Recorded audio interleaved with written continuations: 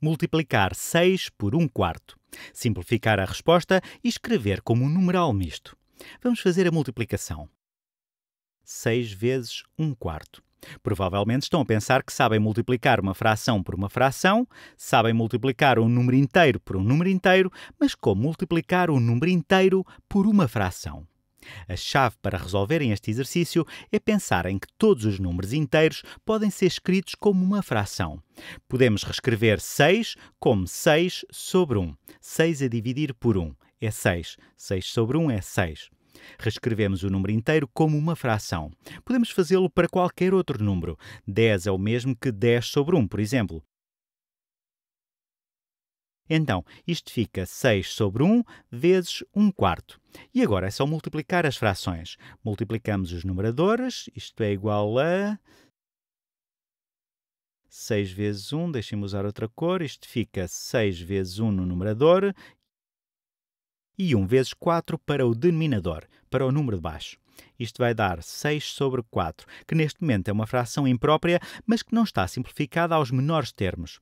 Conseguimos ver imediatamente que 6 e 4 são divisíveis por 2. Vamos dividi-los por 2. Se dividirmos 6 por 2, vou mudar de cor outra vez, se dividirmos 6 por 2 obtemos 3 e se dividirmos 4 por 2 obtemos 2. Então isto é igual a 3 meios ainda uma fração imprópria. Agora temos de reescrevê-la como numeral misto. E a forma para escrevermos como numeral misto é fazermos a divisão de 3 por 2.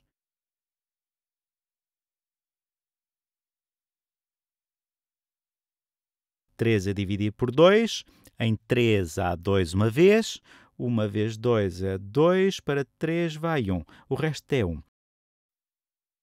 Isto vai ser igual a uma unidade e 1 sobre 2 de sobra, isto é, 1 e 1 meio.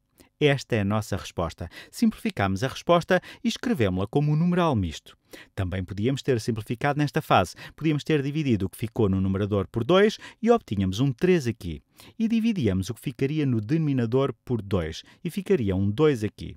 3 vezes 1 é 3, 1 vezes 2 é 2, ficamos com 3 meios. E se usássemos o mesmo processo, diríamos que 3 meios é o mesmo que 1 e 1 meio. Qualquer destes resultará. Vamos pensar porque é que isto faz sentido? Vamos pensar no significado de 6 vezes 1 quarto. Deixem-me desenhar um quarto. Vamos dizer que isto é um quarto e vamos fazer 6 destes. Um quarto, isto é 2 quartos, 3 quartos isto é 4 quartos, o que seria uma unidade. E depois temos 5 quartos e 6 quartos. Isto é 6 vezes 1 quarto. Isto aqui são 4 quartos. 4 sobre 4, que é igual a 1. Isto é igual a 1. E isto aqui é 2, 1 quarto. Isto são 2 quartos e podíamos dizer que isto são 2 quartos de um potencial conjunto de 4. Então isto é 1 e, deixem-me usar as mesmas cores, 1 e metade, 2 de 4 é o mesmo que 2 sobre 4, isto é, 1 de um potencial conjunto de 2.